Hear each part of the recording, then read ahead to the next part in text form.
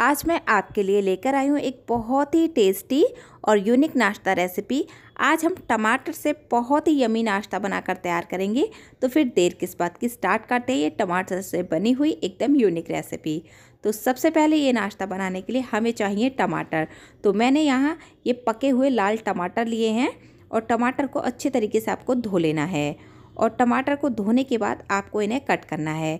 तो इस तरीके से हम इसके गोल गोल स्लाइस कट करेंगे। टमाटर के स्लाइस आपको बहुत मोटे या पतले नहीं रखने हैं। मीडियम साइज़ के स्लाइस कट करके तैयार करें।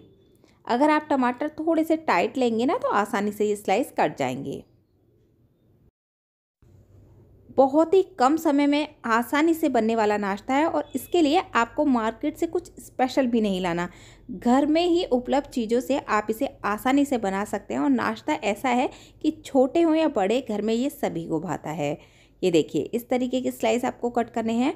अगर आपने एक बार ये टमाटर का नाश्ता बना लिया ना तो सच में आपके बच्चे मार्केट का पिज़्ज़ा वगैरह खाना बिल्कुल भूल जाएँगे और यही टमाटर का नाश्ता खाना पसंद करेंगे। तो यहाँ पर अब ये वाला हिस्सा हम हटा देते हैं। अब ये मैंने दूसरा टमाटर लिया है, इसे भी मैं सेम इसी तरीके से कट करूँगी। और इसी तरह हम ये तीनों टमाटर कट करके रख लेंगे। तो यहाँ पर टमाटर काट लिए हैं, इन्हें अलग रख देते हैं और इसके लिए बैटर तैयार कर लेते हैं। तो ये मैंने एक बोल लिया है और बोल में मैं डाल रही हूँ बेसन। मैंने यहाँ तीन चम्मच बेसन लिया है और इसमें अब मैं डालूँगी एक चम्मच चावल का आटा। चावल का आटा डालने से इसमें अच्छा क्रिस्प आ जाएगा। अब इसमें जा रहे हैं कुछ मसाले तो एक चौथाई चम्मच नमक डाल दिया है। एक चौथाई चम्मच लाल मिर्च पाउडर। एक चौथाई चम्मच धनिया पाउडर। एक चौथाई चम्मच जीरा। और साथ में जा रही है एक बारीक कटी हुई हरी मिर्च। अब इसके टेस्ट को बढ़ाने के लिए हम इसमें डाल देंगे बारीक कटा हुआ हरा धनिया। सारी चीज़ों को अच्छी तरीके से हमें मिक्स कर लेना है। तो मैंने बेसन और सारे मसाले वगैरह अच्छे से मिक्स कर लिए हैं और अब हमें इसमें डालना है पानी। तो पानी एक साथ बहुत ज़्यादा नहीं डालेंगे, पहले थोड़ा सा पानी डालेंगे और इसे घोलेंगे, ताकि से जो बेसन है ना उसमें गुठलियाँ ना बने। तो अब ये देखिए मैंने एकदम बहुत ही बढ़िया बेसन घोल के तैयार कर लिया है। इसमें बिल्कुल भी गुठलियाँ नहीं है, एकदम लम्ब फ्री है ये। और अब हम इसमें पानी डालकर इसे थोड़ा पतला करेंगे। तो अब ये पानी डाल दिया, इसे मिक्स कर लेते हैं। हमें बेसन का जो ये बैटर है ना, बहुत ज़्यादा गाढ़ा तैयार नहीं करना है। जिस तरह का बैटर आप पकौड़े के लिए तैयार करते हैं ना, वैसा तैयार नहीं करना है। हम थोड़ा पतला बैटर तैयार करेंगे। लेकिन बहुत ज़्यादा पतला भी नहीं करेंगे। मैं आपको इसकी कंसिस्टेंसी अभी दिखा दूँगी। ये देखिए, कुछ इस तरीके का बैटर हमें ये तैयार करना है। और अब चलते हैं अगले प्रोसेस की ओर। तो मैंने गैस पर एक पैन रखा है। गैस का फ्लेम मैंने लो रखा है और इसमें एक चम्मच ऑयल डाल दिया है मैंने। और ऑयल को सभी तरफ़ अच्छे से इसमें फैला देंगे। पैन को चिकना कर लेंगे अच्छी तरीके से। और अब इसे हल्का सा गर्म होने देंगे। और अब जो बैटर हमने तैयार किया वो हम इसमें डालेंगे। पूरा बैटर नहीं डालना है। अभी मैंने आधा बैटर डाला है और इसे अच्छे तरीके से हम पैन में फैला देंगे। बहुत ज़्यादा मोटी लेयर तैयार नहीं करनी है अभी इसकी। ये देखिए, इसे हमने पैन में इस तरीके से फैला दिया, एक जैसा फैला दें सभी तरफ़। और अब जो टमाटर हमने कट करके रखे हैं ना, वो हम इसके ऊपर रखेंगे। तो ये टमाटर रख देते हैं। ये देखिए, इस तरीके से टमाटर के जो स्लाइस है ना, हमें इसके ऊपर रख देने हैं। बहुत ही सुंदर लगता है दिखने में ये नाश्ता, और खाने में तो बहुत ही ज़्यादा टेस्टी है। ये टमाटर की स्लाइस हम पैन में सेट कर देंगे।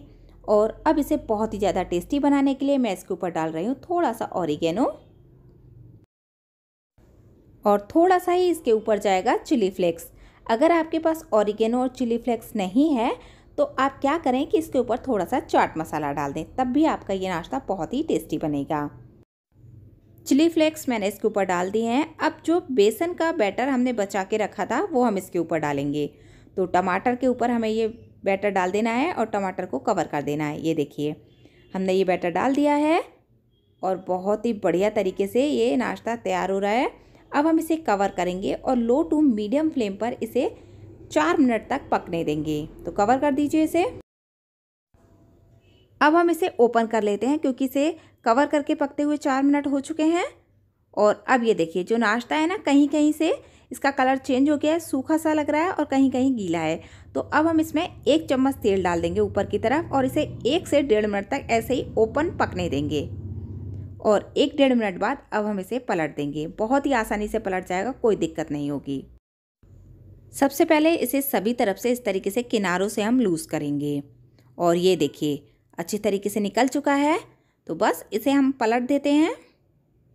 तो इस तरीके से आपको इसे पलट देना है। ये देखिए, कितना बढ़िया सिक्के तैयार हुआ ना, कितना सुंदर लग रहा है। तो बस पलट देते हैं इसे। ये देखिए, क्या बढ़िया कलर आया ना, नीचे से लाइट गोल्डन ब्राउन। तो अब हम इसे हल्का हल्का सा इस तरीके से प्रेस करेंगे और बस इसे अब हम फिर से तीन से चार मिनट तक सिकने देते हैं। गैस का फ्लेम लो टू मीडियम है। अब हमें इसे कवर करके पकाने की ज़रूरत नहीं है। ऐसे ही इसे पकने दें। इस तरह प्रेस करके सेकेंगे तो बहुत ही बढ़िया सिक्के तैयार होगा। अब यहाँ पर इसे पकते हुए तीन चार मिनट फिर से हो चुके हैं तो बस अब हम इसे निकाल लेते हैं। तो इसके लिए आप क्या करें कि इसके ऊपर एक प्लेट लगाएँ पैन के ऊपर और फिर पैन को प्लेट में उल्टा कर दें, इजीली ये निकल आएगा। ये देखिए, बहुत ही बढ़िया, कितना सुंदर लग रहा है ना दिखने में ही नाश्ता। आ रहा है ना आपके मुँह में भी पानी? तो सर्व कर लेते हैं इसे। अब इस नाश्ता को आप गर्मा गर्म कट कीजिए। ये देखिए बाहर से बहुत ही क्रिस्पी और अंदर से हल्का सा सॉफ्ट यमी टेस्टी नाश्ता रेसिपी। आप भी इसे अपने घर पर ज़रूर बनाइएगा। आपके घर में ये बच्चों को बेहद पसंद आएगा क्योंकि बहुत ही ज़्यादा टेस्टी होता है ये। इस नाश्ता की सबसे खास बात यह है कि इसे बनाने में टाइम नहीं लगता और इसे बनाना बहुत ही आसान होता है। तो आप भी अपने घर पर ये टमाटर का नाश्ता ज़रूर ट्राई कीजिएगा। वीडियो पसंद आई तो लाइक, कमेंट, शेयर करें। चैनल को ज़रूर सब्सक्राइब करें। फिर मिलते हैं अगली वीडियो में।